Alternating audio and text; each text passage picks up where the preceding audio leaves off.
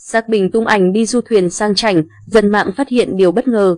Hình ảnh của nam doanh nhân khiến dân mạng chú ý. Sau khi công khai chuyện tình cảm với nữ diễn viên Phương Oanh, thông tin về Xác Bình được công chúng quan tâm nhiều hơn. Mới đây trên trang cá nhân, nam doanh nhân đã cập nhật ảnh đại diện mới. Theo đó, cá mập xác tăng mặc áo polo đóng thùng, đeo kính đen, chụp ảnh trên một du thuyền sang trọng. Phía sau là bầu trời, Xác Bình hào hứng chia sẻ. Đáng chú ý, nhiều người phát hiện hình ảnh một cô gái mặc váy trắng phản chiếu qua mắt kính của nam doanh nhân khi phóng lớn. Một số bình luận suy đoán Phương Oanh là phó nháy cho bạn trai. Trước sự đồn đoán của dân mạng, Chủ tịch tập đoàn Triệu Đô đã lên tiếng thừa nhận. Trả lời dưới câu trêu đùa của một người bạn, Xác Bình dí dòm đáp, mắt tình thế.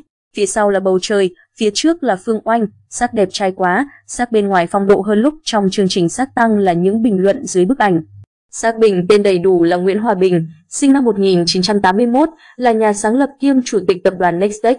Ông được đông đảo mọi người biết đến với danh xưng cá mập khi xuất hiện tại chương trình sắc tăng Việt Nam, thương vụ bạc tỷ.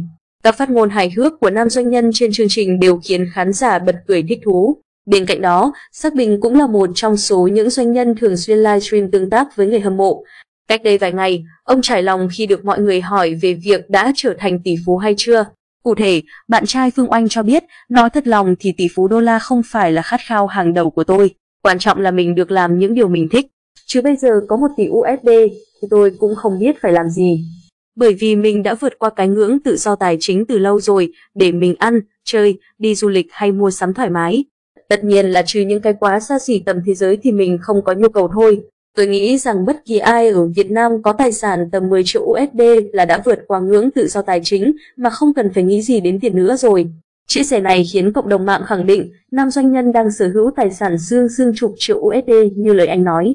Sau khi công khai yêu nữ diễn viên Quỳnh Búp Bê, Xác Bình tích cực hoạt động trên các nền tảng mạng xã hội bằng việc đăng các bài viết, hình ảnh.